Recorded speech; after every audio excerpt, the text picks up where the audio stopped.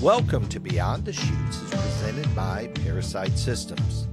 I am on the phone today with Mr. Sam Swearingen. Sam, where are you sitting and what do you got going on? Well, I'm sitting in a camper in the beautiful state of Alabama. Alabama. What's the weather like down there?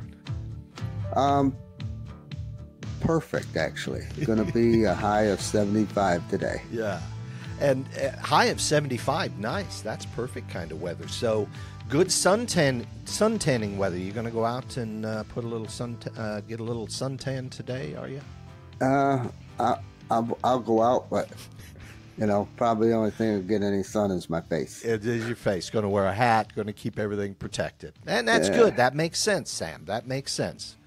And before our listeners, of course, reintroducing my co-host, uh, our co-host on the show, BTC Beyond the Chutes, uh, Mr. Sam Swearingen, two times North America Rodeo Commission saddle bronc rider, world champion. Um, so we're gonna we're gonna catch up, Sam. It has been a long time since we spoke. Last time we were together uh, was at the IFR in Guthrie, Oklahoma. And I know we did a recap show, but does anything over this time, does anything stand out for you uh, about the IFR? Um, I just really like the direction they're going in. It, it just seems to be growing and building. Uh, the IPRA has had some issues over the past years, but it seems like they're turning everything around and going the right direction. Absolutely. And we had so much fun down there. Dale Yerrigan and crew, what a great job they did hosting us. It was great to see Sylvain Bourgeois, of course, Wild Time Productions, and, and BJ Prince. Um, and we're going to be getting a, an update from BJ here in a bit. Uh, about what's going on in Canada, what IPRA Canada is looking like these days, his rodeo schedule, uh, the season, how it's shaping up, and of course, St. Tite Sam. Uh, this will be their 61st year. Wow, that that's pretty cool to be way up north in Quebec and been going on 61 years. That's that's that's great. Yeah, yeah, and um, um, of course, we we you know we've been releasing some Rawhide Ranch recordings, and the most recent one that came out, uh, Mike, your brother, of course, uh, Gary Sikoria, Dave Matier, Daryl Lane, they all talked about going to St. Tite. Before I jump ahead, though, got to tell you, Sam, I've been busy. Okay, uh, been doing race car updates, so kind of like your rodeo business. You know, you got all winter, you do all your planning, and then you start to put together the schedule. You start to put together in racing, you start to put together upgrade for your cars. Um, and I've got a couple big upgrades that are coming that I'm really excited about.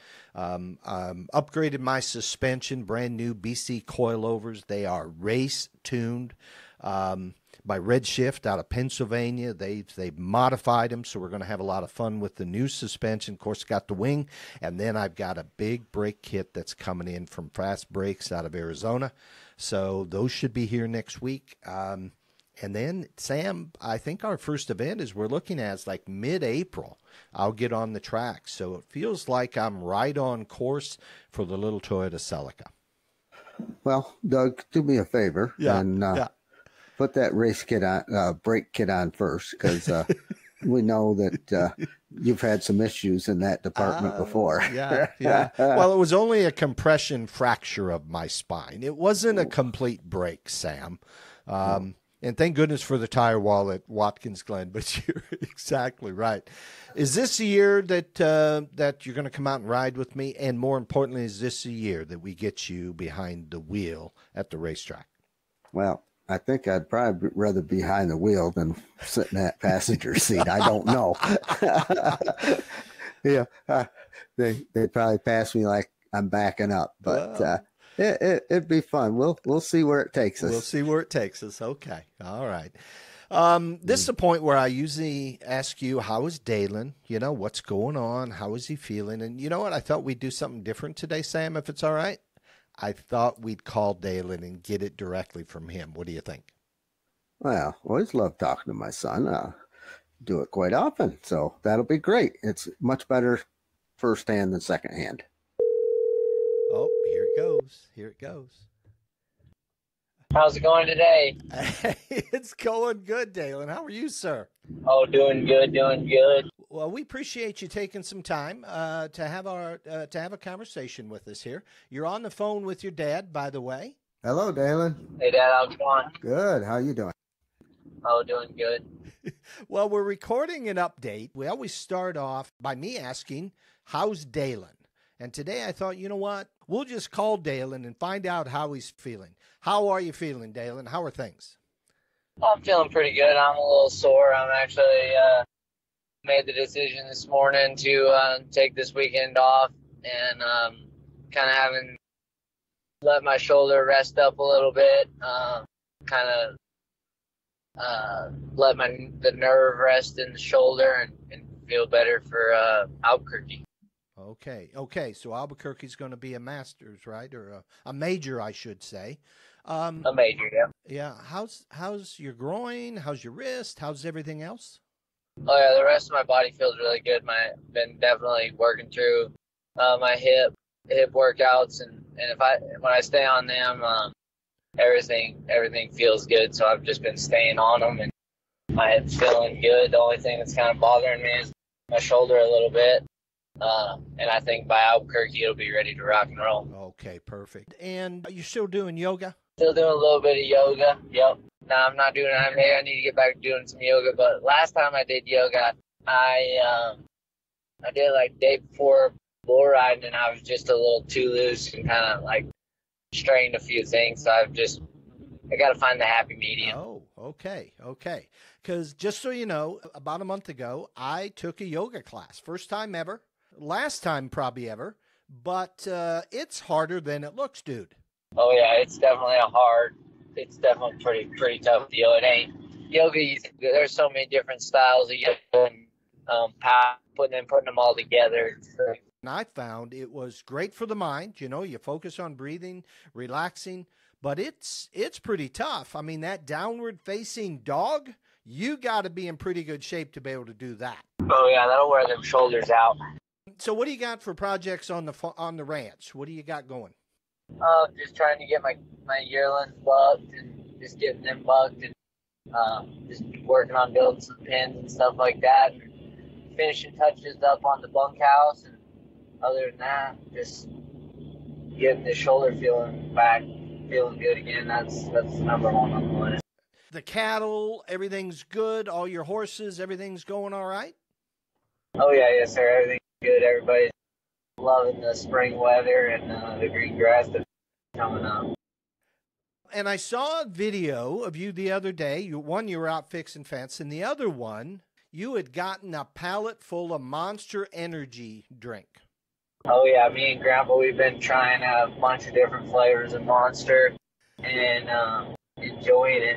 It sounded like on the video he was going to stick with the original flavor. Have you figured out which is your top couple flavors?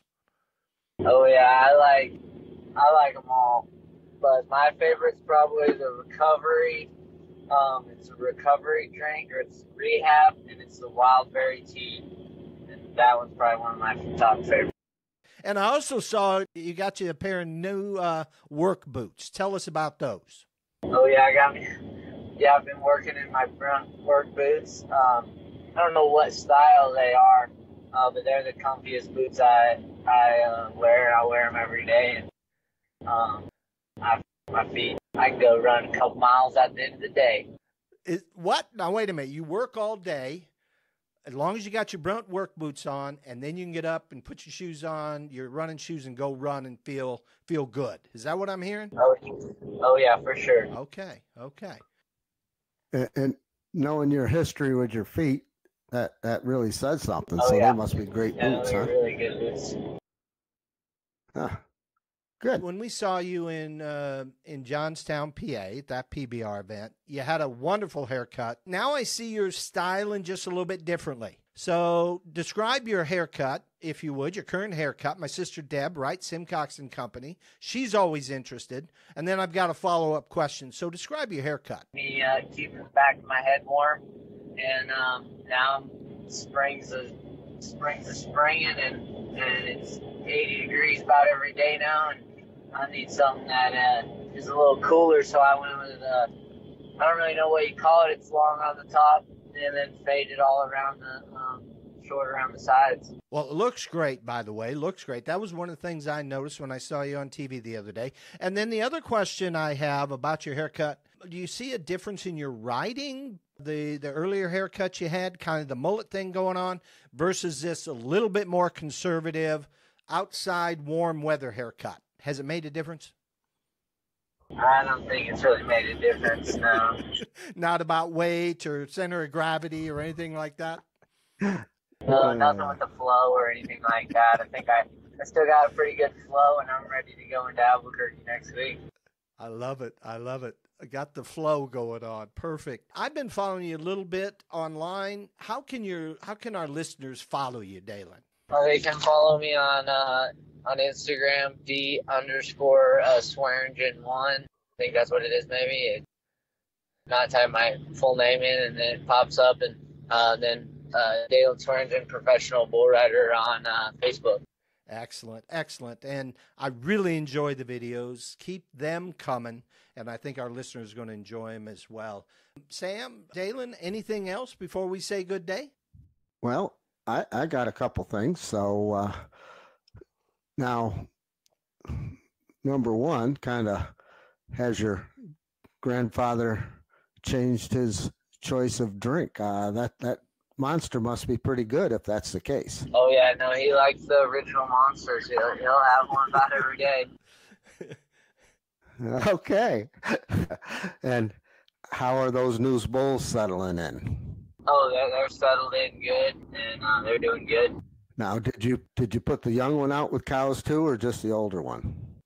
Well, I haven't put anything out with cows yet. I'm kind of just waiting a little, uh, waiting another month or so before I put them out on the cows. Just uh, don't want to have Jan- quite January calves. Want to have February or of February, first of March calves. Just the weather and being around and everything like that.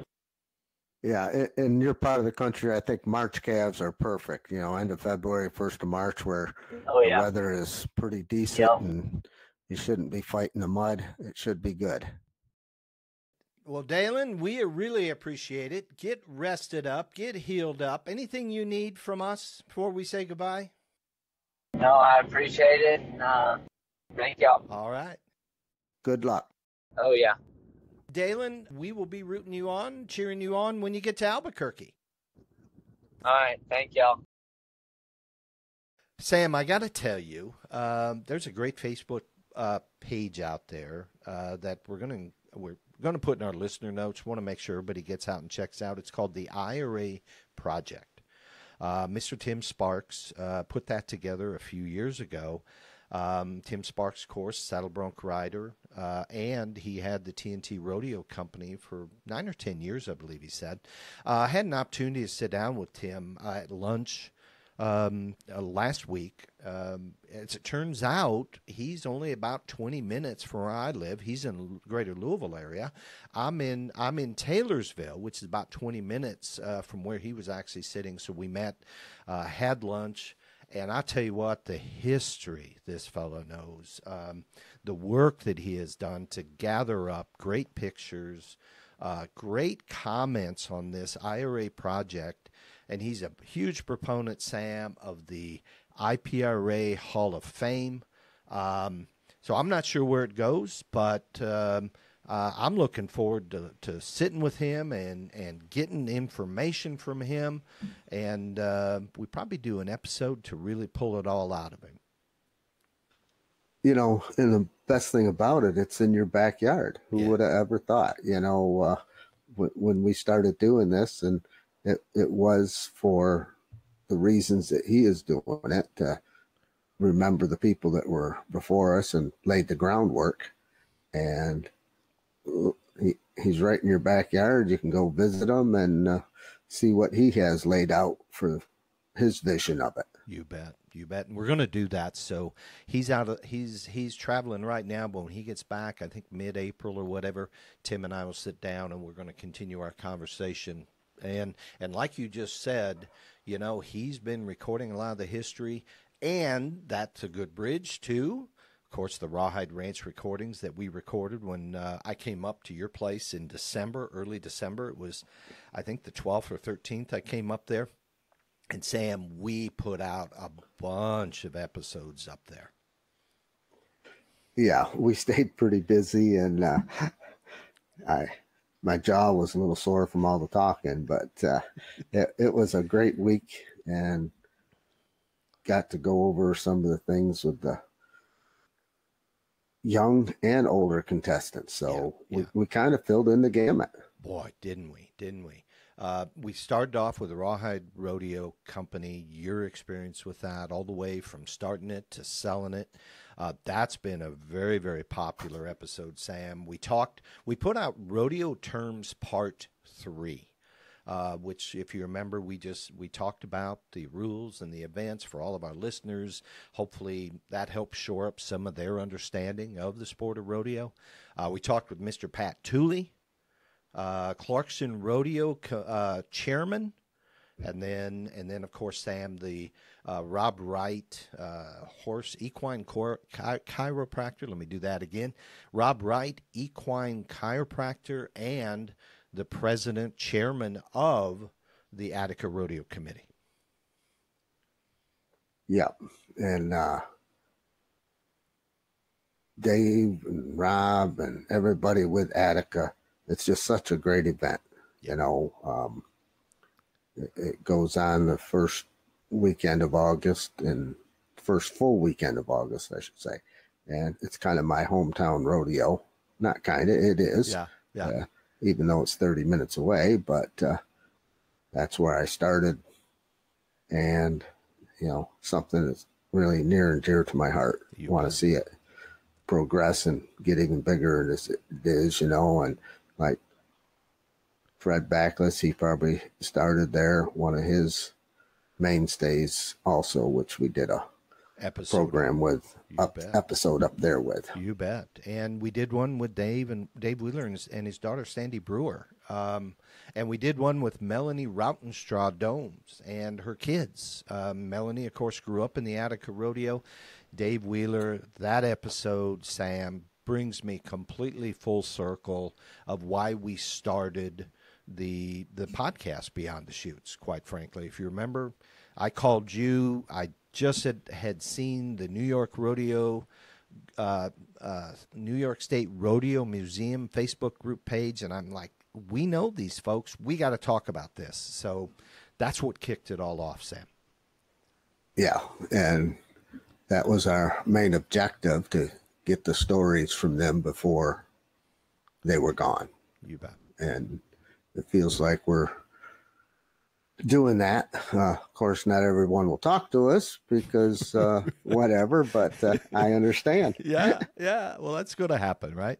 Um, and then we recorded, as you said, with um, with Michelle and Lewis Backless. That that was such a cool episode, Sam, to catch up, learn about Fred. A lot of us saw Fred from afar. I had no idea his background and where he had come from, and the drive that he had, the motivation that he had to be a rodeo cowboy. Yeah, to do what he did to to compete, and, and from that area in New York or anywhere that isn't rodeo connected, Mhm. You have to have that drive because it's not easy to go learn. You can't drive 20 minutes and be in somebody's indoor arena with practice livestock. Yep. Um, Yep. I noticed, you know, out there in Texas and Oklahoma, you can go probably 10 minutes and be somewhere Yep. uh, Yep. to, to do it. But up there uh, in the North Country, in the Northeast especially, you, you have to have the drive and the desire to want to be a cowboy to do this. You bet. Got to be motivated, right? And uh, you talk about practice arenas. One of the things that stood out for me, there was a number of things on that show that stood out, but one of the things that stood out for me was riding in the arena with the rocks and using those as motivation. Uh-huh. At well, Phillips Arena. the people that know Ed, Yeah. uh, yeah. he he will. He's very quiet, easy going, but he gets his point across. Yeah. And uh, Yeah. he is one tough cookie, Yeah. and he's helped so many. You know, Yeah. that was the place where people went to learn, You bet. and uh, he's helped so many, and great, greatly appreciative to the help he's given me, hmm and uh, it, it it's just wonderful place to go, and you know, if you want to whine about what you're doing, you better not go there. If you want to better yourself, go see Ed. You bet. You bet. Um, and he's on my list, Sam. We I'd love to get him on and hear his his story. Right? Those are the we've got this. We're picking up more and more of the stories of the generation of Mike, and I'll go into it here a little bit. A couple episodes we just recently put out of Mike Swearingen, your brother, of course, you, that generation, but getting to the generation that started that started you and Mike uh, and then who started them right back to your connection of how does rodeo get introduced into someone's life in upstate new york uh, and it's around i mean that's what we're seeing in all the episode dave wheeler said rodeo's been around in, in new york state for a 100 years and we learned that when we sat down with your brother Mike, Gary Sikoria. I'd not met Gary, and what a hoot. I mean, what a storyteller. Just great, great stories. Dave Mintier and Daryl Lane. And Gary opens up the first show by talking about going to, was it Edgerton Park in Rochester? Yes, it was. Okay. Uh, and I heard stories of a rodeo in Edgerton, and I don't, you know, I don't know where Rochester, the Edgerton Park is. You know, the city's only 45 minutes from me, but very seldom do I go up there. Mhm. But I heard the stories of it, and there was some fantastic contestants come through there. Yeah, he talked about Casey Tibbs, Jim Shoulders, um, and Jack Buschbom, Sam. Uh, this would be in the 40s, and it was Colonel, what was the name? Colonel Eskew. Colonel Eskew. Okay.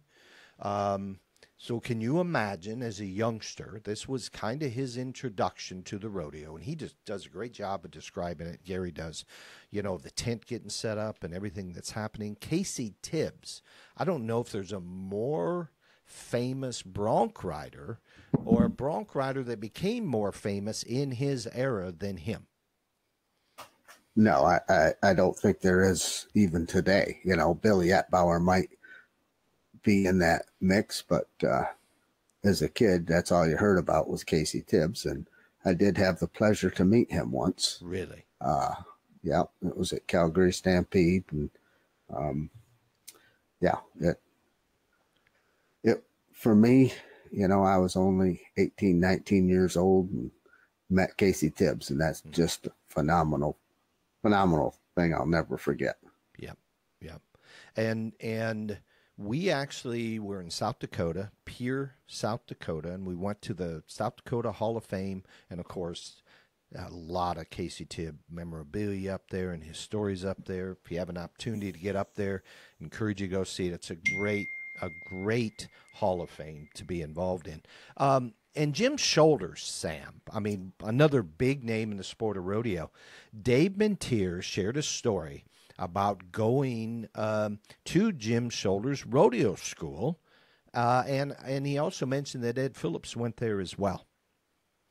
Yes, uh, and you know Ed being uh, not even a real farm boy, you know he, and, and it might have been in the day where he lived, but to to come out and not know anything about rodeo and go get on stuff at Attica Rodeo and then go to Jim Shoulder School and Dave Mentier, the same thing, you know, go to a school where they could learn how to do it the best they knew how. Mhm. It, it, that, look at the drive Oh, the, man. the men had to want to be who they became. You bet. You bet. And and again, we want to we want to capture the story because I'm always interested in that. You know, we always ask that, Sam. How'd you find rodeo? What in the world? You know, what were you doing? How did it come to your even come to your attention? So love to get Ed on one day, and, and with any luck, we will get that done. And then the final one he talked about was just uh, Jack Buschbom, a PRCA bareback bronc riding champion back in the 50s, 60s. Uh, a quick story, Sam. I was telling my dad about this. Uh, um, in uh, I was telling my dad about this episode about Jack Buschbom, and he offered up that his father, Ned, Ned Simcox, we talked about him having the rodeo arena back in New Hartford, Iowa. He and a friend of his, Phil Stevens from New Hartford, they drove up and he thought it was somewhere in Wisconsin and they visited Jack Buschbom when Jack got a bit older. So I don't know, you know, here's that missing link. I don't know who can tell me how they came in contact with him, what the conversation was like, but I don't want to miss any more of those. Yeah, I want to minimize our missing those kind of links if we can, Sam. You know, and I, I never even heard of Jack Buschbom before, mm-hmm. but uh, that that's really something that your grandfather has a connection with him. You bet. You know, you just bet. great. All right. So shifting off that, we've got uh, and then then the episodes. I shouldn't say shifting off that. We've got, of course, the the the two the two episodes. Mike, Gary, Dave, and Daryl. Uh, part one and part two. What a hoot to sit down, Sam. We did something we never did. You and I were not on microphones. I just put it on record. I might have thrown out a big question here or there, but these these were just cowboys sitting around talking about their experiences and the stuff I learned, and it was fun. These guys had fun, they interacted great, and we learned a bunch. Well, they loved what they did. Yeah. You know, yeah, they, they did it for a reason, and you know, I, I can speak for Mike for sure that uh, he, he doesn't understand why everybody doesn't want to do it and uh, right. love it like he does. But uh, they they loved what they did. They did a good job at what they did, and that's when you are good is when you're love it and having fun when it's your passion you bet and they covered a lot of ground. So to our listeners uh, i think it's episode 66 and 67 go give a listen. I think you'll enjoy it. Uh, cowboy roundtable. And sam that trip was so successful. We learned a lot. First off it's great to interview and and and talk with people you know face to face like we did. Um, we do a lot of recordings over the phone, right? However, man, there's nothing like being there, watching the expression, watching the energy, and engaging with them. Yeah, the face to face is so much better. Uh, you can see their reaction, or when somebody says something and they're still talking, the other one's got something to say. You know, they're opening their mouth like they want to get it out, and yep. it, it, it's just uh, it just brings a whole new perspective you can't get over the phone. Absolutely, and that that trip was so successful. It is it is uh, uh, inspiring uh, our our Memphis. I'm sorry, our Tennessee.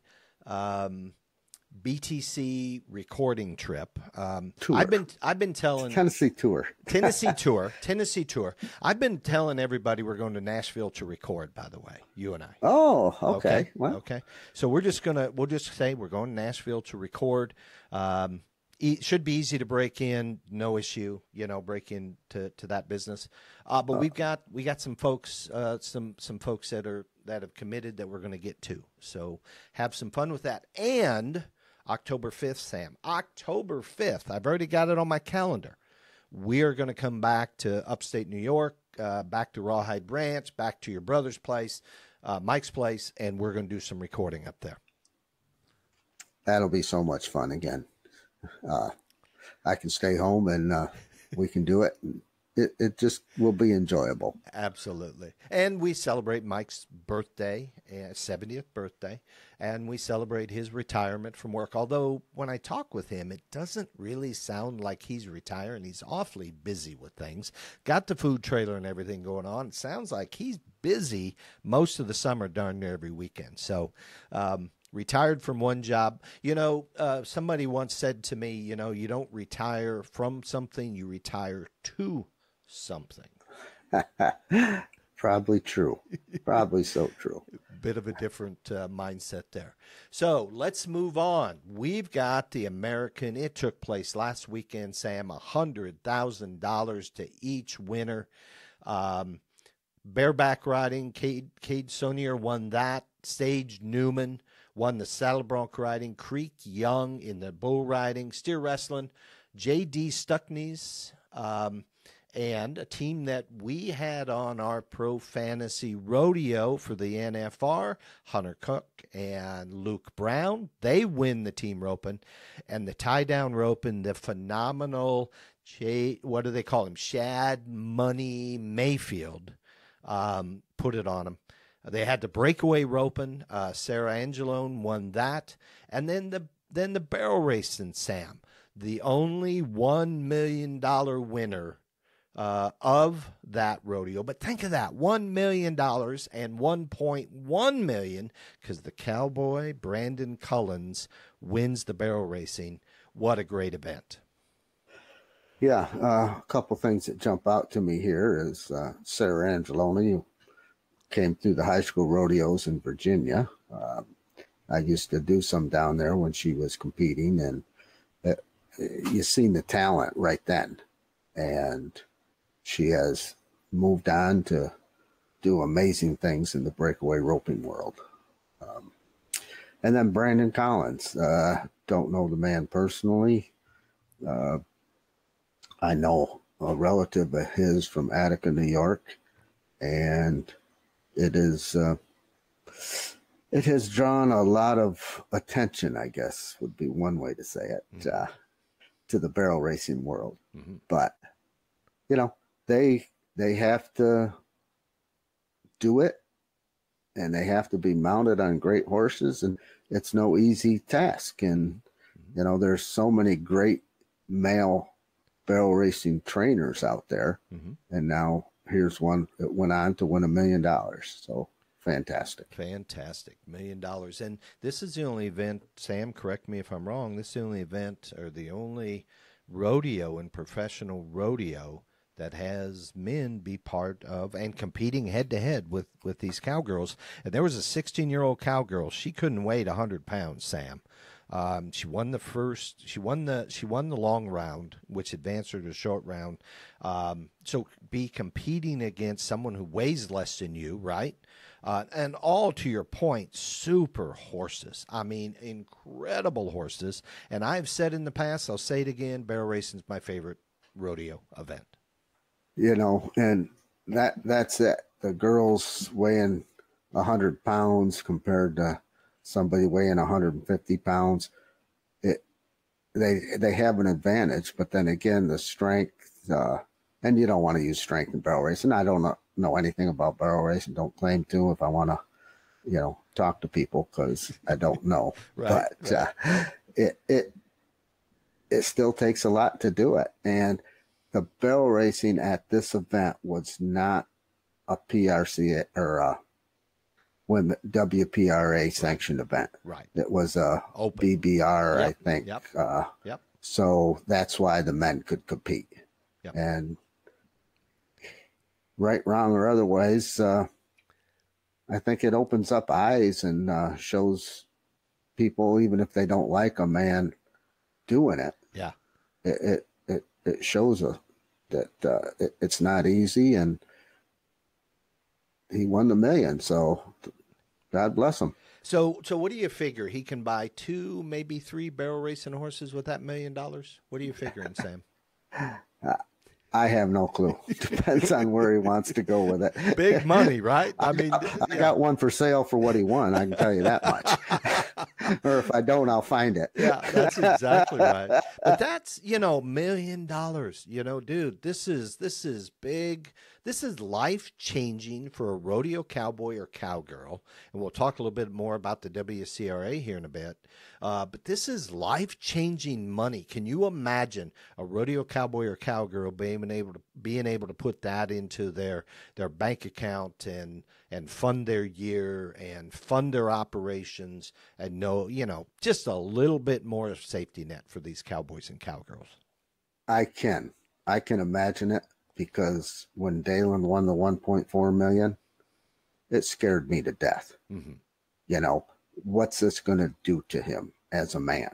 Okay. You know, Okay. it's going to set him up in Yeah. life Yeah. very well. Yeah. Don't get me wrong, Yeah. but it can ruin your life as well. Right. If you turn the wrong way, you know, I, I, I tell people I, I have no idea. You know, I'm, I was pretty tight with my money, but if I was that age and won that kind of money, Yep.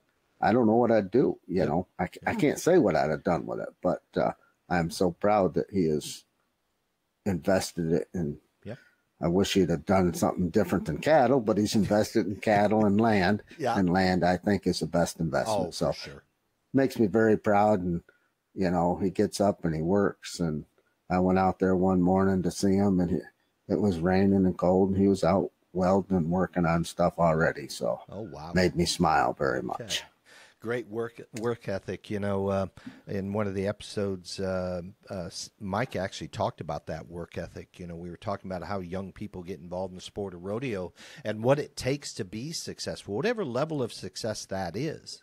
And he talked about, he mentioned Daylon's work ethic, and and I have to tell you, you know, the yoga.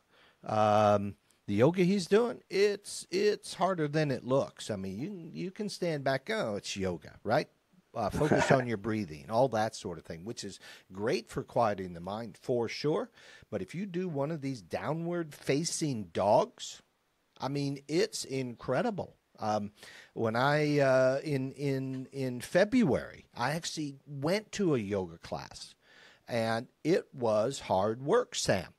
It was hard work, and you wouldn't think it. You're not lifting weights, you're not running. There's no cardio, but I'm stretching things that probably I haven't stretched since I was 18 or 19, if that makes sense. Well, Doug, at our age, lifting a fork gets difficult. Anything heavier than that's almost impossible. Yeah, But, yeah, yeah. That's right. That's right. Uh, All right. And speaking of a million dollars, um, um, in May seventeenth, AT and T Stadium in Arlington, Texas. Let me see if I can say this. I'm going to say it one time. Kid Rock Rockin' Rodeo event coming in, and Sam, a million dollars up for grabs. Um, and and new to the sport of rodeo, um, they're following the PBR lead here with the rodeo team format and five hundred thousand dollars to the winning team. They're going to have team team coaches. They are going to have Kid Rock concert will be there, of course.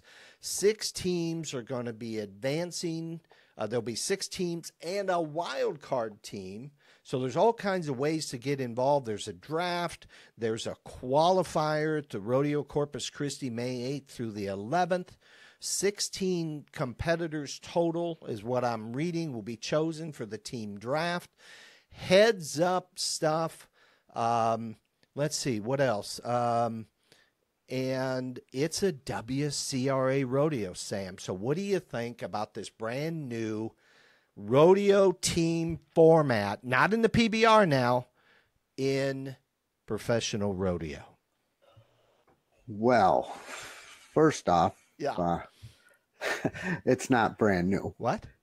but uh, this is another level from where it was at originally. Okay. Um, I I actually competed in the team format back in the early '80s, and it was phenomenal. It it was just phenomenal. It, what what they did, and I think they're following pretty much the same format. George Runquist was a rodeo promoter, and he did several of these. Uh, oh, Philadelphia, Pittsburgh, Detroit, Atlanta. Uh, And, And and I- you were on a team, Sam. You were a competitor on the team.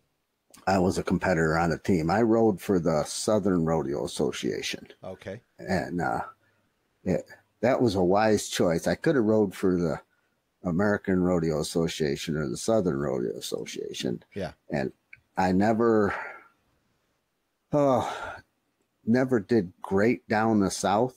You know, when I was young, it just seemed like I was fighting the war. Okay. Okay. Okay. And when they asked me to be on the team, and I don't know why I chose it over the American, but Mhm. uh, I did. And then it was like, oh, they couldn't beat you. So, uh, but they were just so nice people down there. Of course, most everybody in the rodeo world is. They were so nice people and they're so inviting and they kind of wooed me to, to go our, that route. And I enjoyed every minute of it. It was, it was great. But uh, they did the starting lights like in the barrel race. It, Okay. um, And and when you say starting lights, so two competitors ran exactly at the same time in the same arena. correct.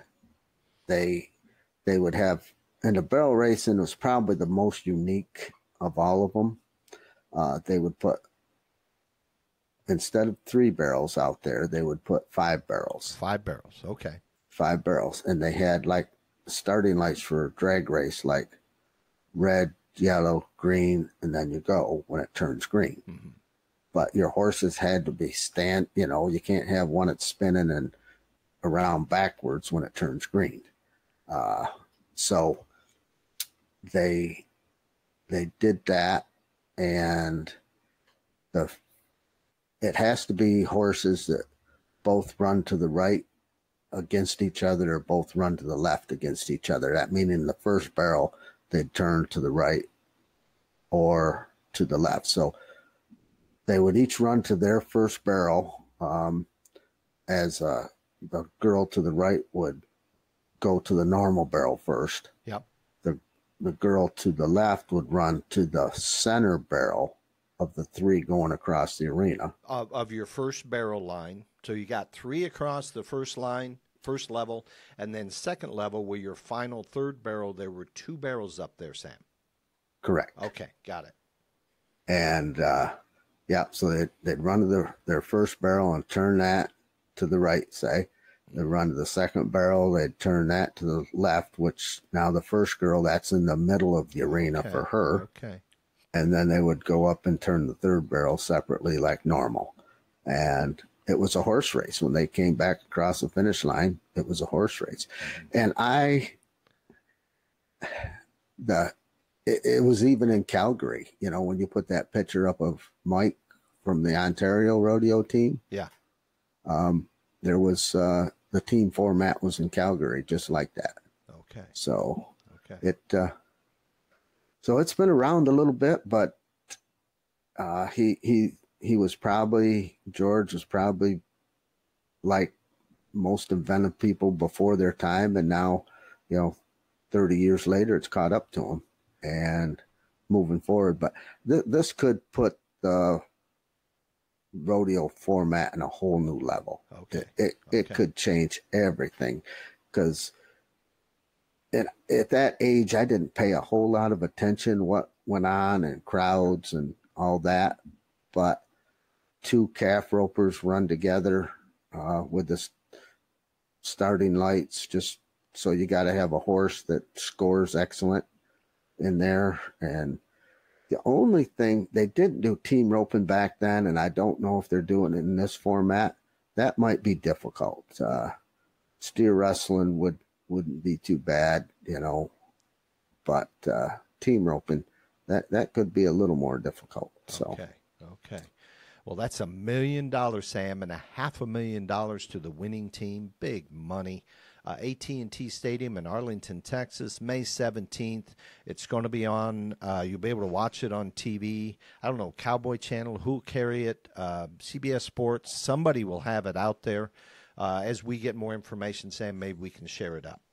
yeah, and uh, it was they also did in the rough stock where they matched you up to the livestock just like they do in the PBR. oh, now. okay. Okay. so you could pick what you want. And I actually went over to Australia for the U.S. team, and they did that same thing, uh, where you could pick your livestock, and Okay. it, uh, you know, not knowing the livestock till you watched them go a few times, and Yeah. then you knew which ones you wanted. And you didn't always get it. There was So one like- horse over. So, like the PBR, the livestock would be drawn for the team, and then the team decides who they're going to put on the bronc. Is what I'm hearing. Correct. Okay. Yeah. Okay. And they tried to match it up You like, uh, You bet. say there was eight head hmm or 10 head, those four or five, they would try to match horse one the same as horse one in the other pool. So they tried to keep it fairly even. You know, if there was rank one, they'd put another rank one. And if you had a hopper, they'd put a hopper next to it. So you could try to, and what you had to do was tr- try to, I think it was a point system like if you were on the American rodeo team mm-hmm. and you won it, you were 80, 86 and the other guy was 84, mm-hmm. you might have got 10 points and he got five. I see. Okay. I, I, don't okay. know how it worked, but that, that was a concept anyway. Right. All right. Well, it's going to be interesting to watch. I'm, I mean, it's. I'm just curious as heck. First time they've done it. PBR Kid Rock, Kid Rocks Rockin' Rodeo. May 17th, AT&T Stadium in Arlington, Texas. Half a million dollars to the winning team. Sam, we gotta we gotta watch that. I think I'm going to try to go down live. I, I oh, wow. really want to okay. see how it goes and uh, the reaction from the crowd and all that stuff. And it, it just, I, I think I'm going to go watch it. Well, take your take your recording, your your microphone and your laptop and everything with you, and maybe we can set up and get kind of your feedback right while you're there. Now you're pushing it, Doug. I know, I know, I know. it's what we do. We're out front and we are pushing, breaking, breaking new ground. Speaking of breaking new ground, you called this. You know, every so often I say, I say, Sam, you you were right. Uh, PBR expansion. Um, the um, uh, the PBR Camping World Team Series, the Oklahoma Freedom. This no this news broke about three months ago. The Oklahoma Freedom moves to Florida to become the Florida Freedom. And then it got quiet. And we said, What's going on? Isn't Oklahoma going to have a team anymore? And up comes the news. There's a brand new team. It's called the Oklahoma Wildcatters and their coach Sam JB Mooney, the PBR two-time world champion. What a name, the Wildcatters with JB Mooney for the coach. I wonder if he's the one that named the team. uh, uh, yeah, I I just love this team concept. When you go to it live, they are into it, and it, it just I see nothing but building and building on this. And you know, JB Mooney's going to bring stuff to the table that uh, only he can do. And I believe will be a fantastic coach. He knows the game inside and out. And I think it'll just bring credibility to what he's doing. Yeah. Yeah. Well, it was interesting. I read a quote. Uh, uh, he, they were interviewing him, and they said, "What are you looking for for the team?" And he said, "We only want positive thinking people." On the team, understanding the, the power of negative thinking and how that can harm a team. So he says you better better bring your best attitude when you come. We're going to think positive, and he can be positive. They have the first tri- uh, the first pick in the 2024 PBR expansion draft. Sam, I don't even know what this is just yet when this takes place because there is the normal PBR team draft have you heard anything on that? What when this expansion draft is going to be going off? No, I haven't. Okay. Now, now that you're just saying that, kind of in my mind, and we can find out whether I'm right or wrong later on. I think what teams will probably end up doing is putting only being able to protect so many guys, like mm-hmm. three guys. Three guys. That's and what I read. Yep. So maybe everybody else will be going to this expansion draft. I don't know. Okay. Uh, but that would be my guess. And then they'll have the regular draft after that. So these three new teams have to get uh, two new teams, two I guess, because Oklahoma is went to Florida, and that's not a new team. It was just a, a change of address, I guess. Yeah, change of address. And the other team, before you say it, I got to tell you, I was so excited when I saw this. You and I have talked about this. I see the New York Mavericks, the headline, and I'm like, son of a gun. Sam put a deal together. We're going to see Brevard, New York. Um, and I was disappointed to see, I'm excited to see New York Mavericks, disappointed to see it's in Brooklyn, Sam. Well, it's I'm sure it's going to have its challenges being in Brooklyn. Yeah. Uh, Yeah. You know, it, it's it is what it is, and all big things go through New York City. Yeah, You know, that's Yeah. where Yeah. football well, not started, but you know, the, the East Coast has, you know, one, two, three, four, five major Yeah. football teams within, you know, from Yeah. Boston to uh, Baltimore. Yeah. Uh, yeah. Yeah. So Philadelphia Eagles, of course. Yeah. yeah. Philadelphia, you're right. Giants, Jets. Uh, Carolina. Um, I didn't even go that far. There's Oh, another one in oh. there. Baltimore and uh, Philadelphia, Baltimore, Giants, Jets. Jets. Yep. Buffalo? So anyway, Buffalo. well, that's Western New Oh, York. is that too far? Okay. yeah. Yeah. But, you know, think about it. Yeah. Within a probably a 200 mile driving Yeah. radius, there's five NFL teams. Yeah. You can get to it Uh, for sure. So, anyway, Yeah. uh, what what a, I, I love it. I, Yeah. I think it's great. Uh, it, I I will even try to go down and watch the first event. okay.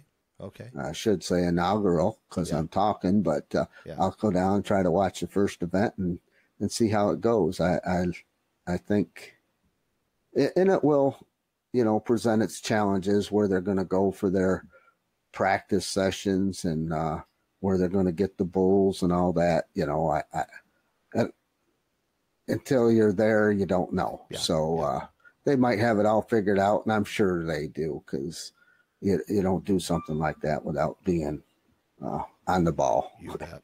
Well, what I love about this too, this expansion opens up new opportunities for coaches, for head coaching.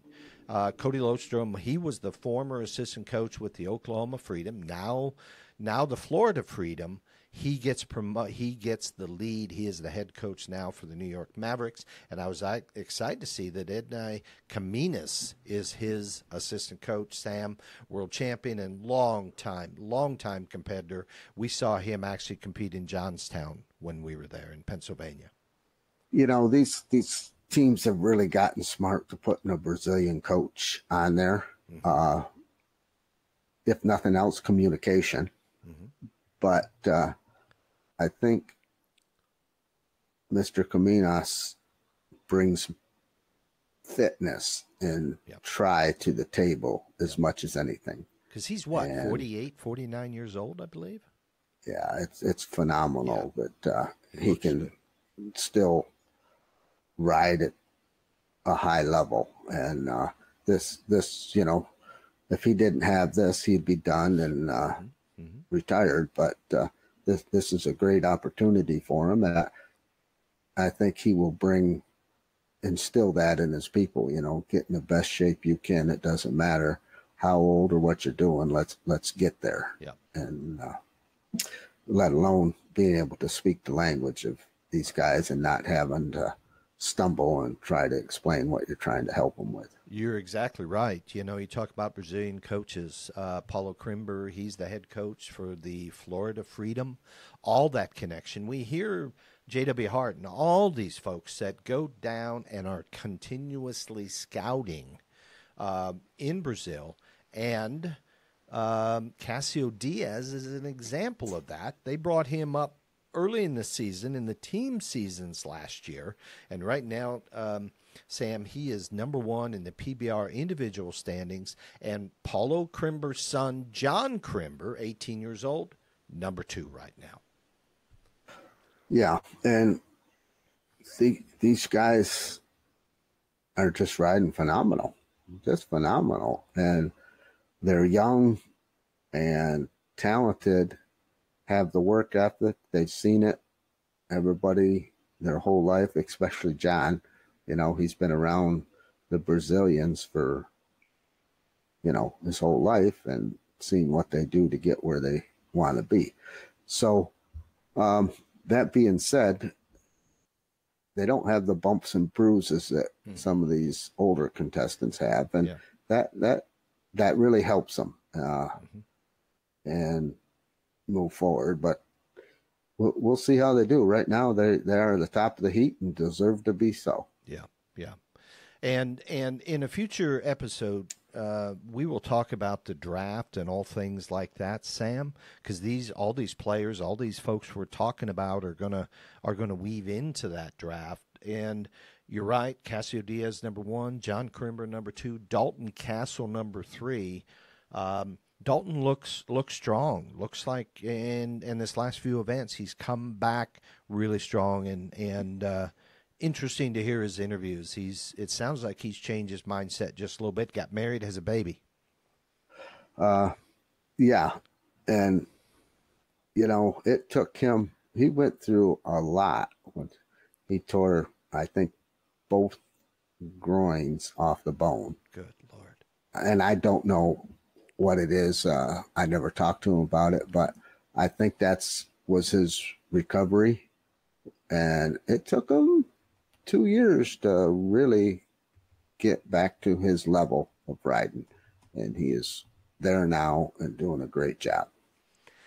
And then we've got Daylon in 18th place. We've got Jose Vitor two-time world champion, uh, in 27th place. And Sam, correct me if I'm wrong. I believe you need to be in the top 35 to make it to the finals.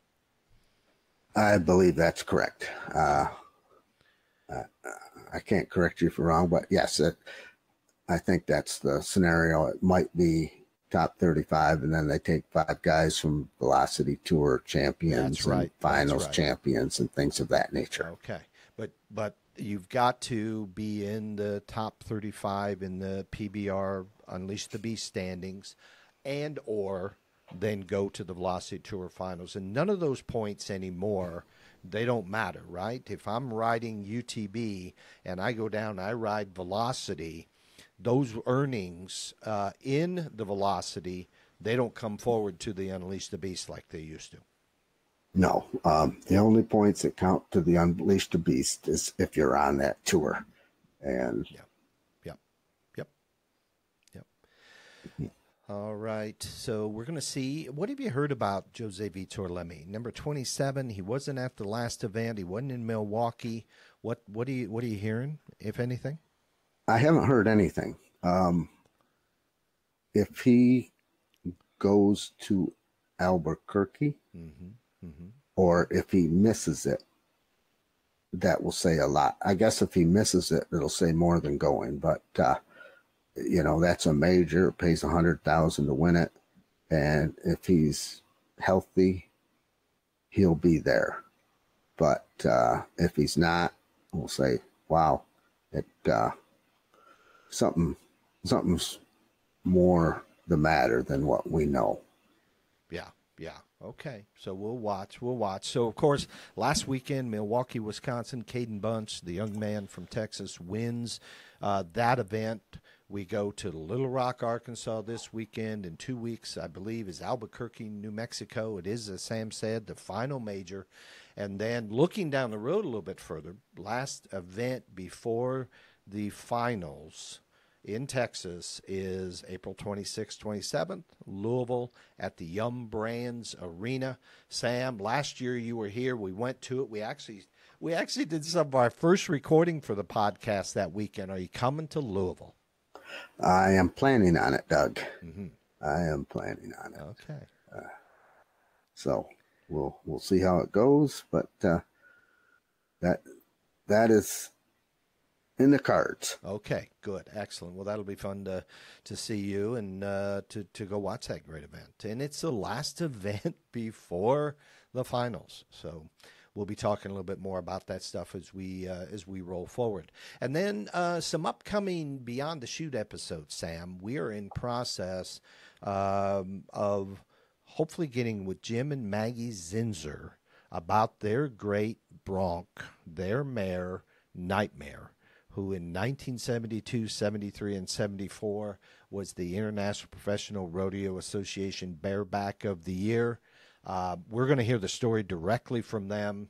Um, what what's your thoughts on that upcoming episode that we're going to be recording, Sam? We haven't recorded it yet. Well, this is the one I'm probably looking the most forward to doing mm-hmm. uh, that we've done this time. Uh, what they have done in the rodeo world, nobody else has come close to. Not not even comparison. And knowing them personally and their background a little bit, it's not like okay they parents own Kodak or mm-hmm. Bausch and Lomb. You know, they're just hardworking people and put stuff together and came out with the best string line of horses in the country. Yeah. yeah. You know, nobody has equaled them and not even to this day and they're they're trying and they're using their breeding to get there but uh, what they had done in the rodeo world is phenomenal and and we're going to cover this in the episode but i've been reading catching up. There's a lot of information out there. The progeny of nightmare. Night jacket of course was inducted in the pro rodeo hall of fame uh, in the 2023 class. That was kind of one of the things that pointed us at it but you've always talked about nightmare and always talked about the great blood stock that that she brought. Um, and I read something the other day, Sam, something like 60 of her offspring has competed in uh, at the NFR. Yeah, think about that. Yeah. 60 of her offsprings. Yeah. You know, to get they they take a hundred horses in each event. Yeah.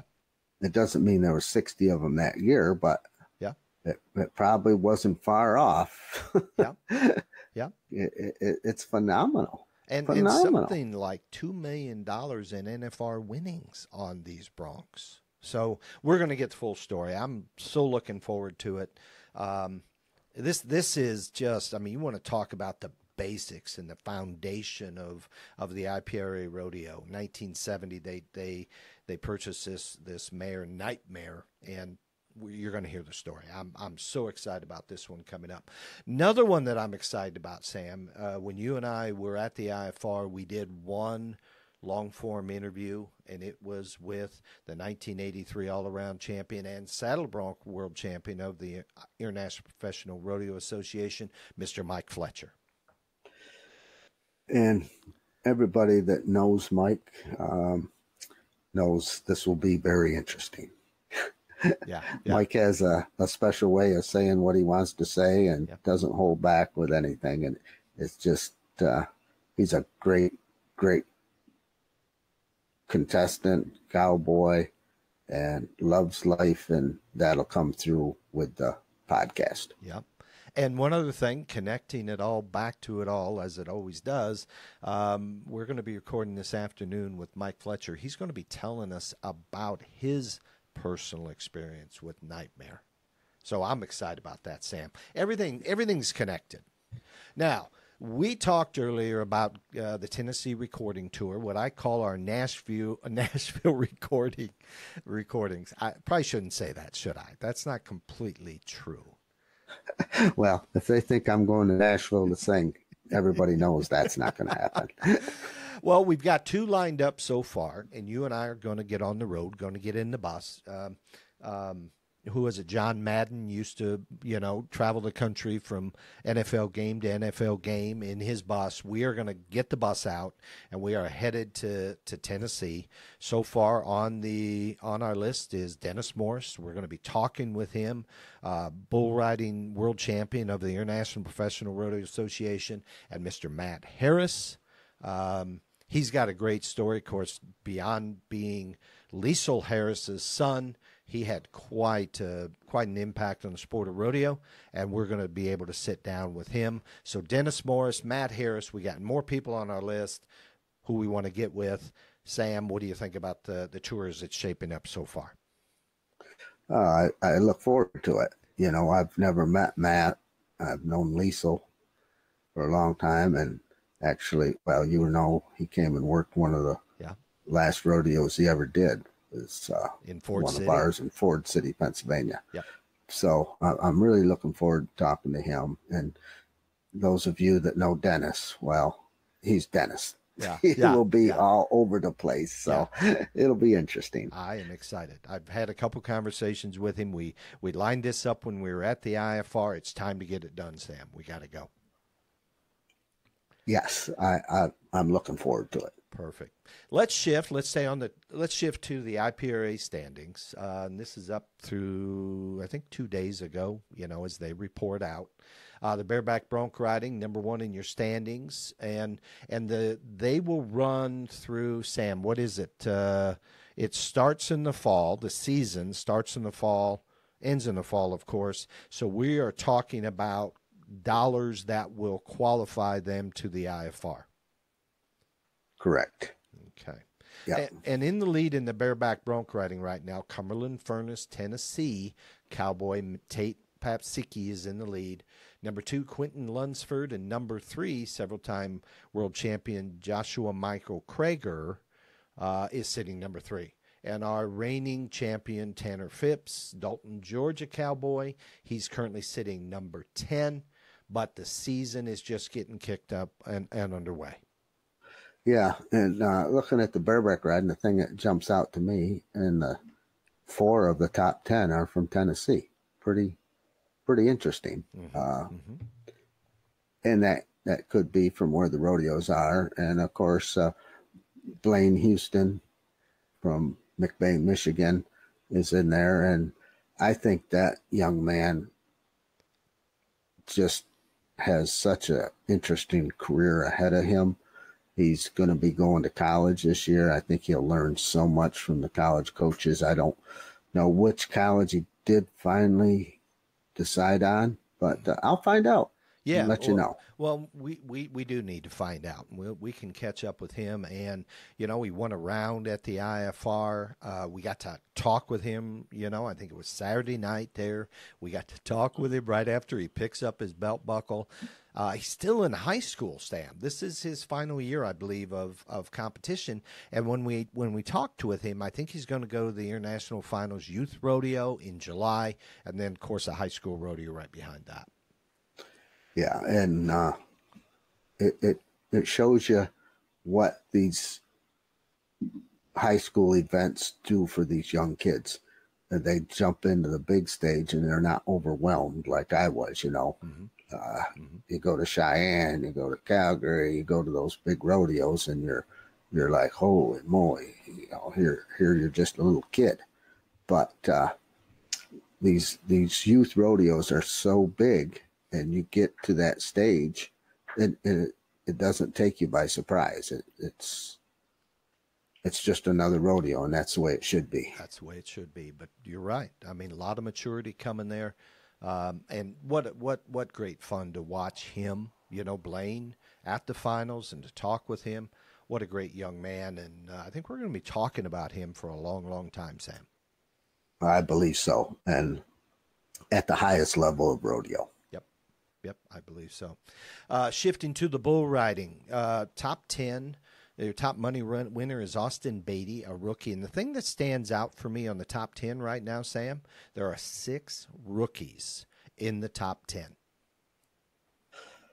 well in the bull riding uh you know you get young kids wanting to go and they travel hard and they're they're tearing it up a lot of these rookies will travel together Mhm. Um, Austin though is no rookie. He uh, he's been around a long time. He's won the first frontier circuit, I think, a couple times, and rides very well. Uh, a military man or a police officer. I'm not. Maybe he's police officer, but stays in fantastic shape and just just a very humble young man. Good good guy. Okay, okay, good to know. Good to have a little backstory on him. And you remind me of one thing. Typically, the IFR and the First Frontier Circuit finals are on the same weekend. And this year, the way the calendar falls, I'm understanding, Sam, you can qualify and go to the IFR and qualify and go to the First Frontier Circuit. I'm I'm tickled for that. I wish they'd fix this permanently or, or make this happen permanently because you've got so much talent on that East Coast and through the Midwest that is competing in both the IFR and the First Frontier Circuit. Yeah, and it only doesn't overlap like every five years. Okay. And okay. you know, even with livestock, you had to make a choice where you're going to send your animals, and uh, uh, you know, I towards the end I started, you know, 24 hours away or four hours away. So me being the driver I am, I kind of stayed four hours away. right. But uh, uh, and and a lot of cowboys that we've talked to, Sam, it always there's this overriding theme. You were you were less of a driver and more of a rider going down the road. and now I'm just a driver. no, you're uh, just a driver.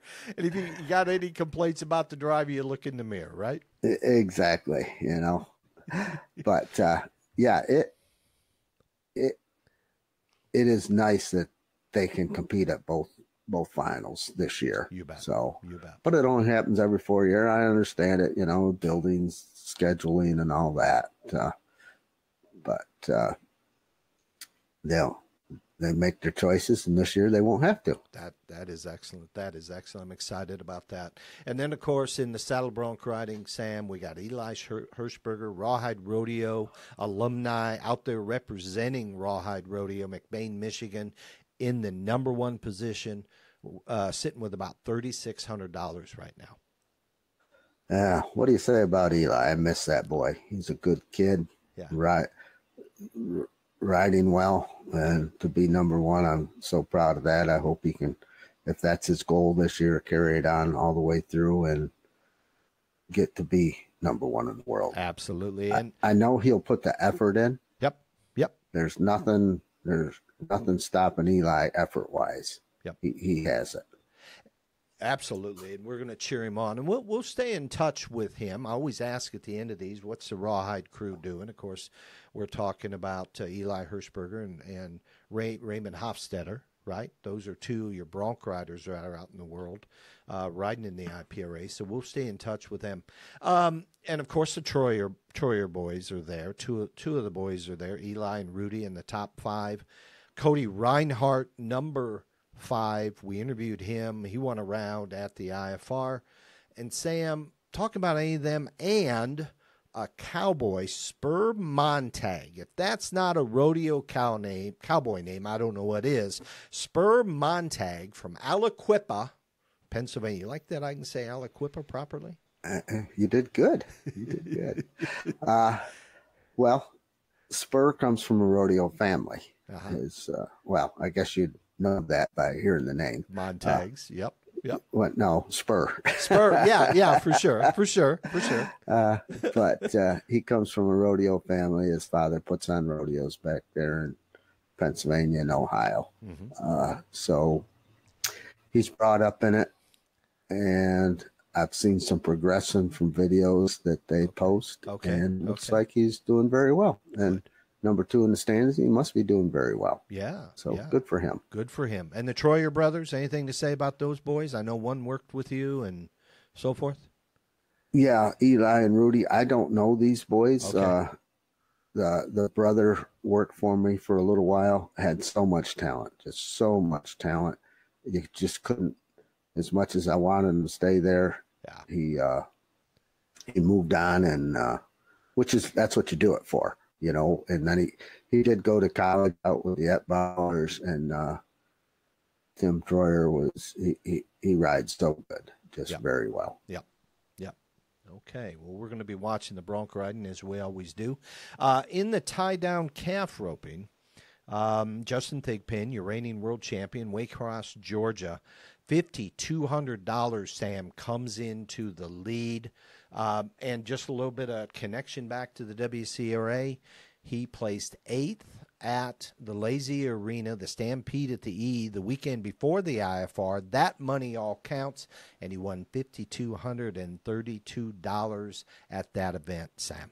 Power of the WCRA money. You've talked about it. It- It's going to change world championships. You know, somebody goes and knocks him out at two or three of those WCRAs.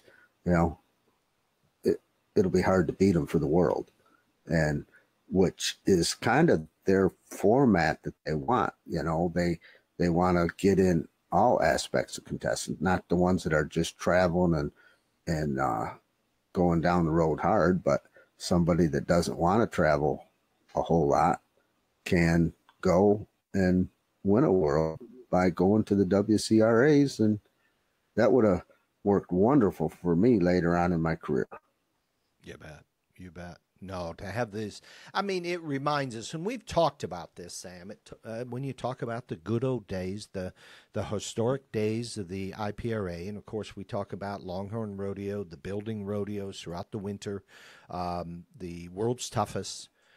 That was what you had the ability to do back then, all winter long. Uh, you could get to a rodeo darn near every weekend, and for big money, and for tough, tough, tough competition yeah, back in the day, that that was uh, really good money. It didn't matter where you were at.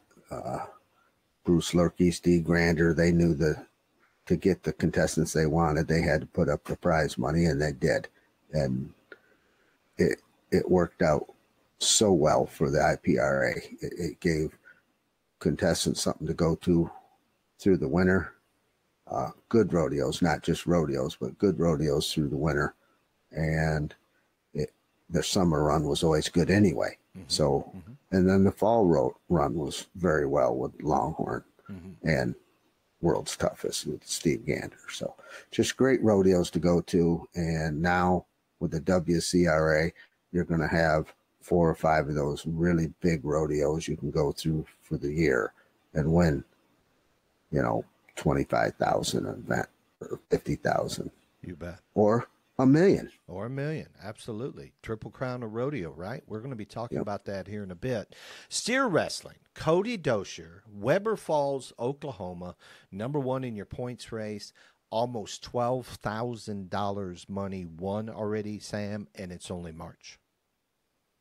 Yeah. Um, don't know this man personally. Uh, seen him around a little bit at some of those big events that Colton was going to to qualify for the American and uh, WCRA. Super talented, and it's showing. Look at that, twelve almost twelve thousand already. Yep, and way out in front. So. Way out in front. Three times what your number two cowboy Caleb Little is sitting with. Um, anyone else stand out for you in the top ten here, Sam? Oh, the only one is uh, Eli Troyer. Uh, yep, number nine. I guess mm-hmm. surprises me that uh, he's bulldog and Cord Dyer. Uh, of course, he's from back east, and mm-hmm. he he worked with the crew that bought my company that year, mm-hmm. and uh, so I got a little history with him. But other than that, that this is going to shake up. So when these rodeos really start going, uh, everything's going to shake up to where they're at. You bet. You bet. No, exciting times. I'm I'm really interested in where this is going. Moving on to my favorite event in the sport of rodeo. Uh, cowgirl barrel racing, Kendall Scruggs, South Haven, Mississippi cowgirl. We watched her. I think she won the third round at the IFR. Um, Mississippi Cowgirl, as I said, and she's sitting with $14,000. And just for the records here, she picked up ten, almost eleven thousand dollars, Sam, at the WCRA Stampede at the E the weekend before the IFR. Fourteen grand. Number two, the first of the Julies, Julie Thomas, uh, sits with sixty five hundred. Julie Plord, who is um, your reigning barrel racing champion out of Quebec. She's sitting in the number five position. And then Julie Goodrich, because that was a story during the IFR, Julie Goodrich, uh, Tennessee Cowgirl, sitting number eight. You know, uh, of course, Kendall's always done well um, on multi horses. So, you know, she's a good jockey or a good trainer. Uh, I don't know which it is, but maybe it, I, it's probably everything above uh, always always mounted, doing well. Uh, a little tidbit: I was down here. They had a cowboy uh, reunion, uh, and Julie Thomas. No, it, it must have been a celebration of life. Okay. Here where I'm staying. Okay. And okay. Julie Thomas was there, and I didn't even recognize her because didn't put it in place. And mm-hmm. as she was leaving, you know, she just waved goodbye. And I thought, oh, look at that. I didn't even know she was there. She's leaving. And I didn't get to talk to her. Okay. So, uh, we, but we, she's from Georgia and uh, came out to the celebration of life yeah. here at the Kickback Ranch. We we had planned Sam on recording her at the IFR, and our, our schedules got all all sideways. I still would love to talk with her. So at some point, maybe we can dial her up and and uh, see what's going on there. Yeah. And and a couple other notes, uh, a couple other cowgirls that aren't in the barrel racing standings just yet. Emily Stiles, the young lady out of Plymouth, Indiana, if you remember her, I mean, wins two rounds, I believe it was. She placed um, um, big money, right, in the in the average and all that. The the the young cowgirl, we interviewed her. She's yet to come to break out. So the you know lots going on. And then your cowgirl that you're a big promoter of, Wendy Chestnut, out of Vermont, isn't even in the standings yet, and you got to know she's coming. Well, there'll be a lot of girls that are coming for it. yeah, yeah. and uh, I, am pretty sure those two will be there. But uh, the, that barrel racing is so competitive, so competitive. You know, any any given day, you know, there's thousands of girls out there that could be in this top ten. Yep. Uh, yep. It, it's just a matter who who wants it enough to travel the roads. That's right. So Kendall Scruggs, your number one leader at this point, uh, Mississippi Cowgirl, talking about traveling the roads, $14,000, Sam, in March. Let's move on to the team roping. In the header on the header side, uh, we've got we've got some big money coming out already.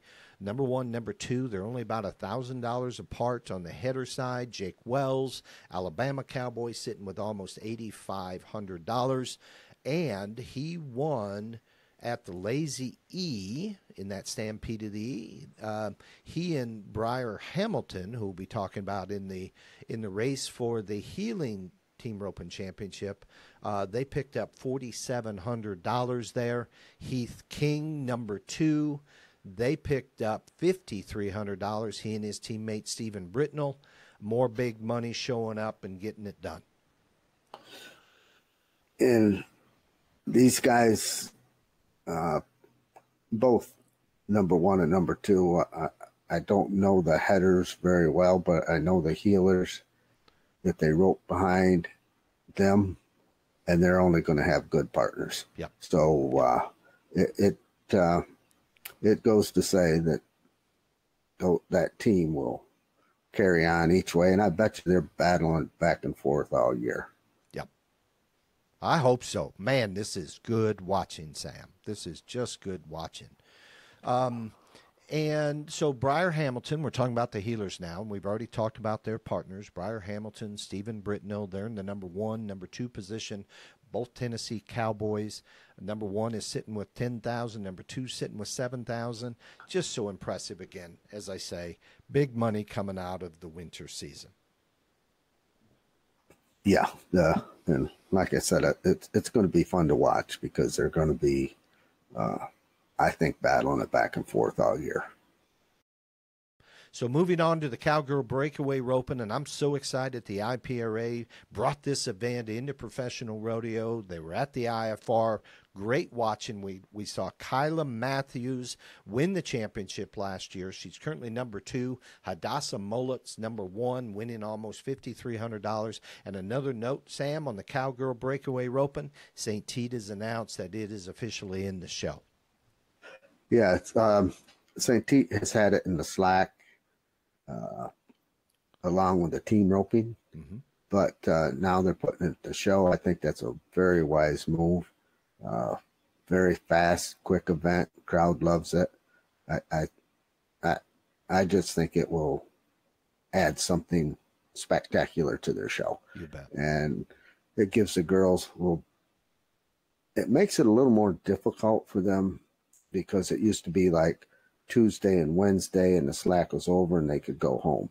Uh, now they're going to have to stay there all week long to see what who makes the short go Yep. and it, and that's okay. That's part of growing pains. You bet. So you bet. I look forward to it. Perfect, perfect. And the one thing we haven't talked about yet, we we we teased it out, said we need to, so we're going to.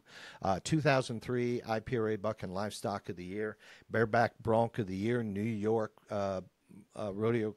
Um, rodeo contractor painted pony championship rodeo of course sean and shannon graham uh, 36 willie is the bareback bronc of the year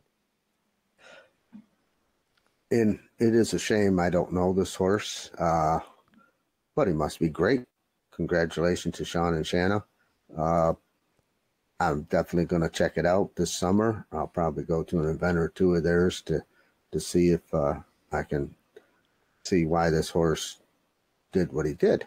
So it, it's just a wonderful award to win. Absolutely. Yeah, no, no, very excited for it. Saddle Bronc Rider, number 13 Silver Dollars of the Southern Rodeo Company.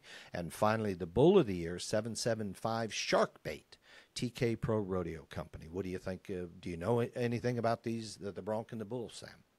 No, I don't. Uh, I did watch Shark Bait at the IFR, and he really, really bucked. Uh, but I really don't know anything about him not being in the circles of riding anymore it, it makes it very difficult to get the livestock. I used to be very well at what livestock was what and how they did. I, I, I didn't go as far as keeping records, but I did have uh, when my mind was good. I, I I could tell you pretty much everything about them. Right. Okay, good, good. Well, it's time to get your mind back good, Sam. We're going to put you on the road. You're going to go you're going to go see some of these. And speaking of going on the road, BTC, of course, we're talking about going to Tennessee, but Sam, we're in the early stages of planning for the International Finals Youth Rodeo mid-July. I think we ought to go. I do too. Uh, if we want to see the new up and coming contestants, you know, possibly world champions. Mm-hmm. I think we should go there and uh, as we go on through the years, say, yeah, remember that kid? We seen him at. Uh... yeah. Can you? And then we'll say, "Hey, you're a world champion. Won't you come on BTC? Won't you remember when we recorded? You were you were 17 years old and you were in the bus. Don't you remember?" there you go. Got to got to build those connections. Got to build those connections, absolutely. And you know the IFYR, good golly, what two thousand contestants, Bo- both Colton and Daylon, I believe, have competed there, and like two hundred and fifty thousand dollars in prize money, high school age kids. Yeah, just it's just there. There you go again, a, a stage that they can learn to not be overwhelmed by the awe of the big rodeos that's right. and just move on because that's a big rodeo. So you get that under your belt, you know, kids your own age. And when you step up, up to the next level, you're ready. All right. Final note on the WCRA. Um, we have one million dollar eligible for the Triple Crown of Rodeo, of course. Barrel racer Stephanie Fryer. Um, she won Rodeo Carolina. She won Stampede at the E in January. Um, her next event, where if she wins the next event in Corpus Christi, Sam, a million dollars. What an opportunity! What an opportunity! You know, and she's done two out of the three. I wish her well. You know, the more people that win that million, and it's a difficult task, the more it'll draw in and people can say, wow, it can be done. Yep. And I always said it would probably be the barrel race that would win it first. It wasn't, it was a bareback riding, but you know, they're all indoors. Mm-hmm. Uh, the ground's going to be kind of the same for all of them.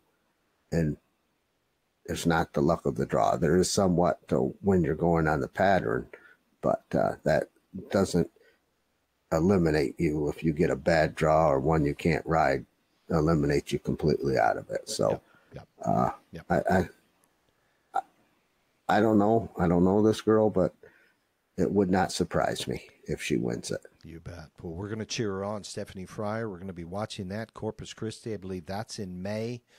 Um, lots going on. And speaking of lots going on, Sam, Uh, I had an opportunity to catch up with right before the show. I gave BJ Prince a call. Of course, he's Rawhide Rodeo Ontario, Ontario, um, and he we caught up. Everything from the IFR to his trip to, Carol, uh, to California, uh, how his season's uh, shaping up, and uh, let's give a listen to that.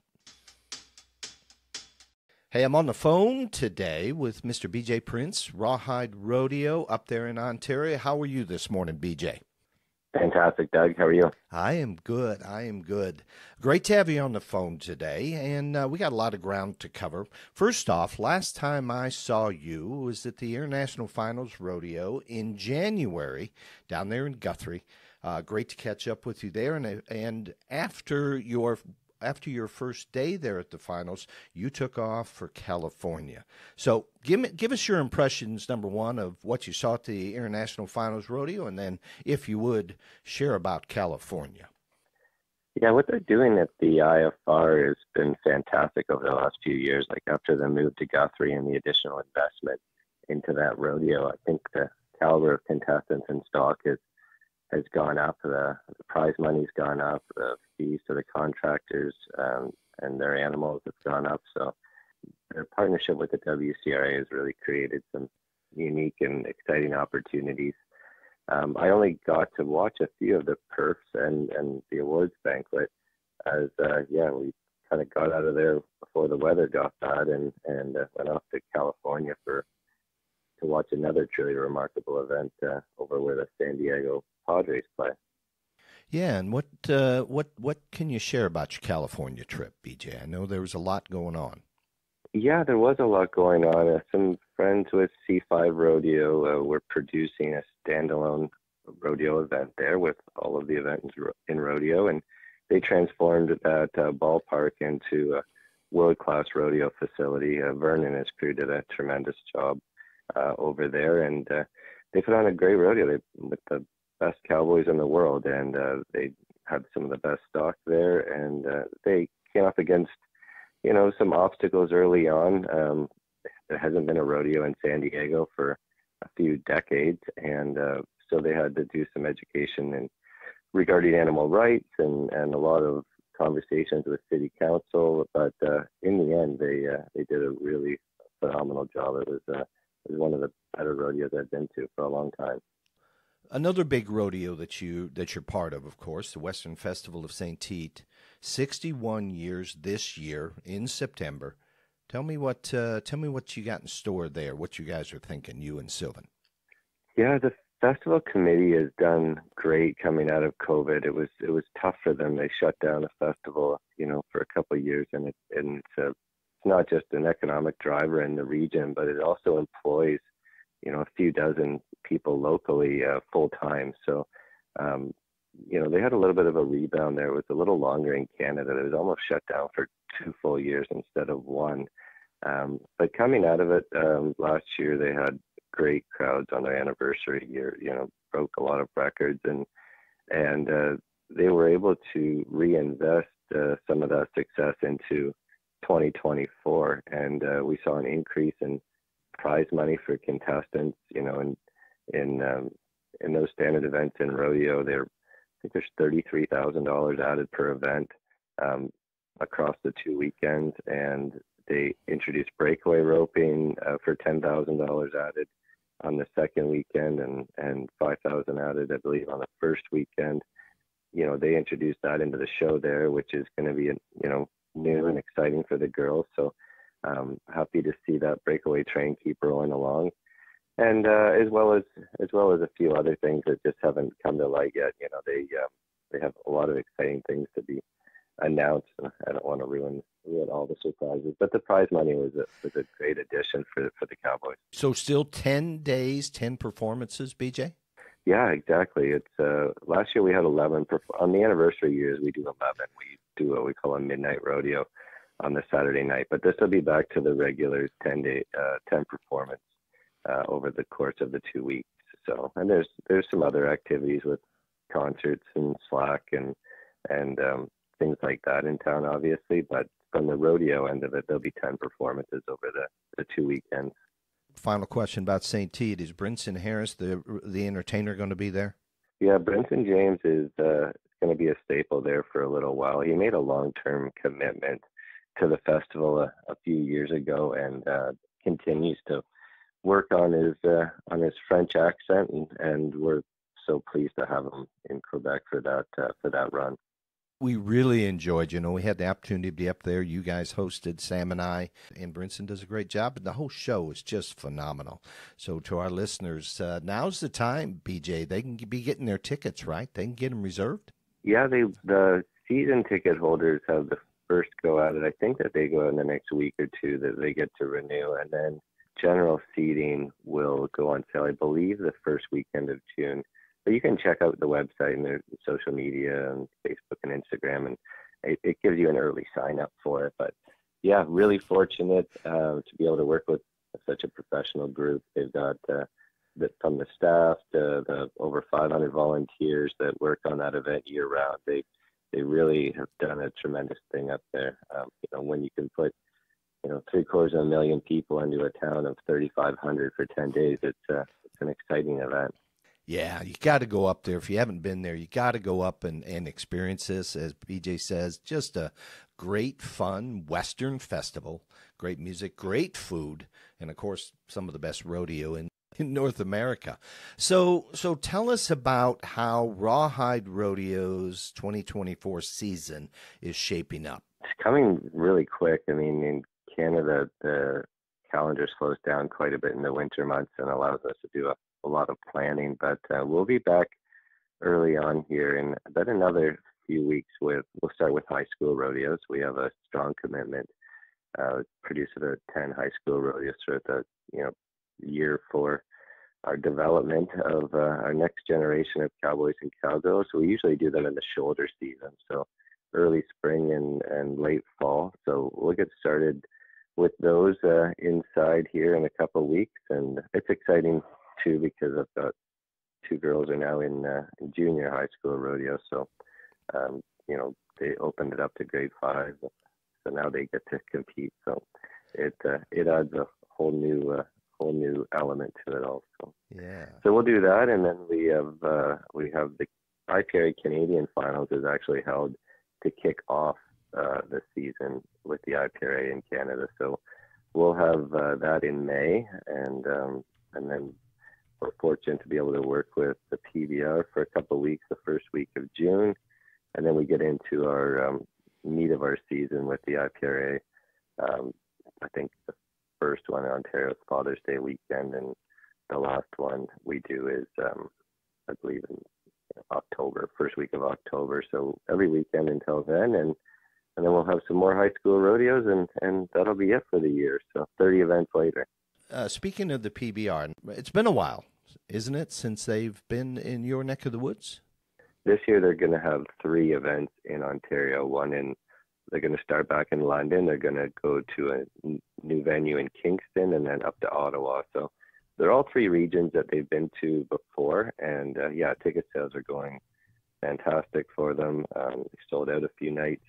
They've added a couple because of that. So really excited to uh, have the opportunity to work with JD and Blaine and their crew over there and uh, and be a part of it for the first week, and then uh, yeah, back to back to work with rodeos and the IPRA. So three events. That is very cool. And and how can they find and follow and know what's going on? Rawhide Rodeo Facebook group page. That's still the best way. Yeah, and for the for those individual events like the PBR, I would probably go to PBR Canada's website. They have all the ticketing information listed there, and they can find links through our social media and our webpage to that if they need it. But um, yeah, tickets are on sale now for all three of those events. So um, I don't know how much longer the tickets to last, but it's going very well. Good, excellent. And and finally, speaking of high school rodeo and the girls now competing, that's where I met you, BJ was high school rodeo. You came down into the state. Yeah, it was it was kind of the some of the early beginnings there. I met Sam, uh, you know, when I was competing. I I started competing in the bull riding, you know, in my early teens, and he was doing an event in Ontario, and he asked if I had any interest in coming down there and joining it. So that kind of was the the beginnings, and uh, he he uh, took me around all of those high school rodeos, and we set them up and tore them down and put on the show, and I got a little break to compete along the way, and and uh, yeah, that was kind of the the humble start, and uh, you know, had to go to Pennsylvania at the time. That was the closest uh, association to competing, and that's where Sam did, you know, all of his work and uh, with them to develop the next uh, next group of cowboys. So it was nice when uh, we had the opportunity in Ontario with uh, with a group, well, probably a decade ago, over that now, to uh, to form a high school association in Ontario, and and uh, yeah, it's kind of uh, it's really grown since then. We had you know over a hundred different kids compete last year. Um, you know, great scholarship programs that we're able to uh, funnel money into those graduating kids so that they can go on to post secondary. So yeah, it's it's funny how it's come full circle and, and really really happy to be a part of it.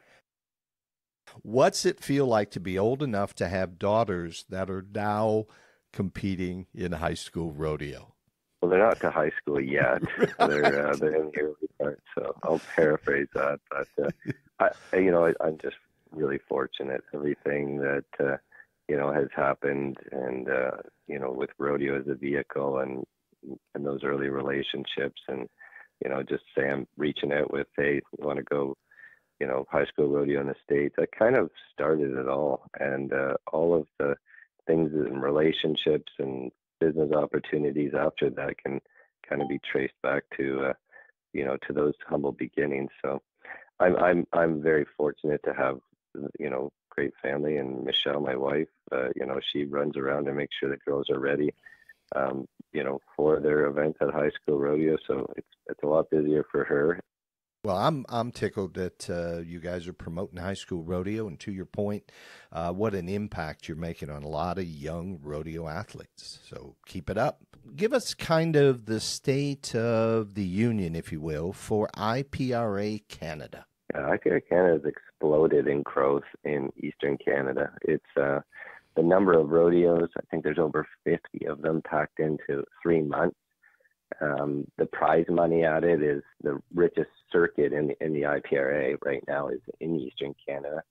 You know, we've got rodeos every weekend. I think the minimum added a thousand, and you know they've got multiple ones adding five, ten, fifteen, and then obviously culminating with St. Tite at the end of the year. So great opportunities for cowboys. We've seen guys come from Australia and stay the summer, and Americans, uh, you know, now that all that stuff with COVID's over, they can come freely back across the border, and and uh, and they're really going to take advantage of it this year. I think it's going to be a fun circuit to compete in. It's going to be a fun circuit to uh, produce rodeos in, and every weekend up there, it's uh, there's three rodeos, you know, Friday, Saturday, Sunday, where a guy can get between them and uh, and really compete for a lot of prize money.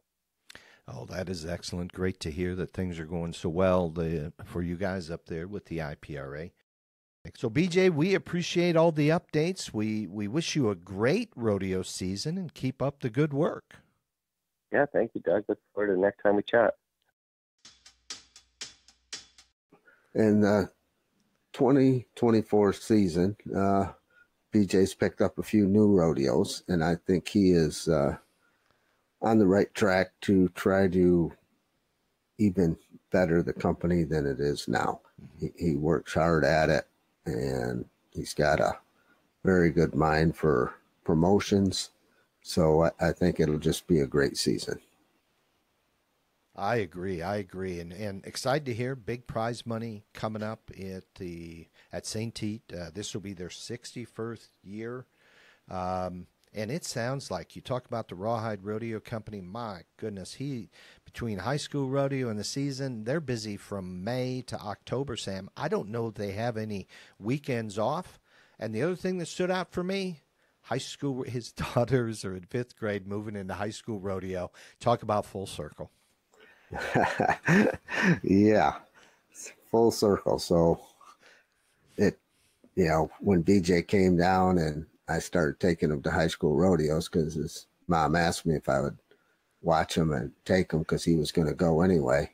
uh, she didn't know the burden she put on my shoulders. But uh, yeah, now it's on yours, BJ. That's right. You're going to have to worry about the boys Yeah. later on here. Yeah. You're yeah. go- yeah. But uh, I, I'm sure it'll be okay because BJ will know all the tricks. He so knows all he'll- the tricks. He helped write the book, right? He helped write the book.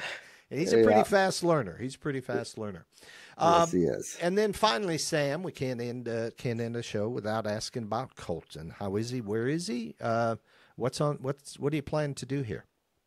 Well, I'm so excited. Uh, I'm in. Colton's going to be in Montgomery, Alabama tomorrow, and I'll get to go see him. And it, it just seems like forever. I just uh, miss it. I know he's out on the road doing what he loves, and yeah, I, you know, I had him every day for so many years, and now I only get to see him once in a great while. But tomorrow's going to be the day, so I'm very excited. You bet. You bet. Excited. Uh, going to look forward to how he does, and and just just uh, we're we're interested in how he's how how he's living life so large. You know, out there on the road, as you said. Interested in what he's seeing, what he's experiencing. So good luck to Colton uh, in Montgomery. Yeah, I hope he does well. Uh, then he's leaving and going to one Texas Friday, so we won't have a lot of time to visit, but uh, at least I get to see him and cheer him on. You bet. You bet. No, I'm excited for you. Uh, and then you're headed back to New York. Yeah, I'm going to go back to New York probably after Colton leaves, and uh, I got some business to take care of up there. Yep. So New York, and then uh, then uh, Tennessee. Right. You're going to come down for that. You've got a wedding in Texas. You're going to go to, and then and then finally um, back here for for Louisville. We've got a heck of a busy next few months. Yes, we do. It it, it should be fun. Yeah. You know, it, it should be fun. So, like the next six weeks, we're going to be doing a lot with this podcast, and uh, it'll, it'll be very interesting. Absolutely. And and what I'm thinking is while we're driving, we could be recording an episode. While we're driving.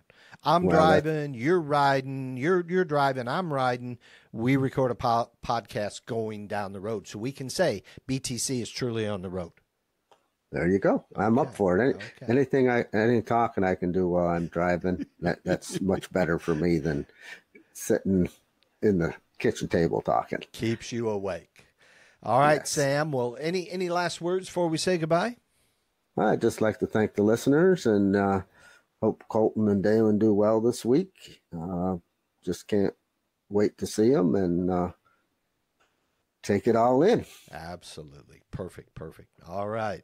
We hope that you enjoyed Sam and my update. If you do, please share it with your friends. To make your listening easier, you can find us on Spotify and Apple Podcasts. Just simply search for Beyond the Chutes and follow us. We also have a Facebook page, Beyond the Chutes. So please find us, like us, follow us. We have lots of great pictures and reels that go along with these episodes, tons of content. So that is Beyond the Chutes, our Facebook page. Leave us your comments. Sam, there's been some great comments coming. I love the discussion. We love getting these. Uh, it helps us frame where we're going to be headed, who we want to go see. And speaking of the Facebook pages, check out the New York State Rodeo Museum Facebook group page. And we'd like say thank you to our sponsor, ParaSight Systems, for their support with our podcast. ParaSight System is a push button parasitic diagnostic system for pasture animals, your horses, your cattle, your goats, your sheep, and your chickens. And now for your companion animals, the dogs and the cats. You can find them at ParaSight Systems. And Sam, we've got a coupon for 50% off your test kits. You can do your testing via the mail. They send it, you send it in. Use BTC023. You can get registered on Poof to Proof. No, I didn't say that right. Poop to Proof, Sam. Poop to Proof.com. Am I saying that right? I'm glad that you're saying it, not me. So, yeah, you said it right, Dad. We'll leave it at that. Okay, Poop to Proof. Uh, and use your coupon code BTC023. Now is the perfect time to be testing as we head into the warmer months. Uh, this is Beyond the Chutes. Until next time, this is Sam Swearingen and Doug Simcox. Thank you for listening.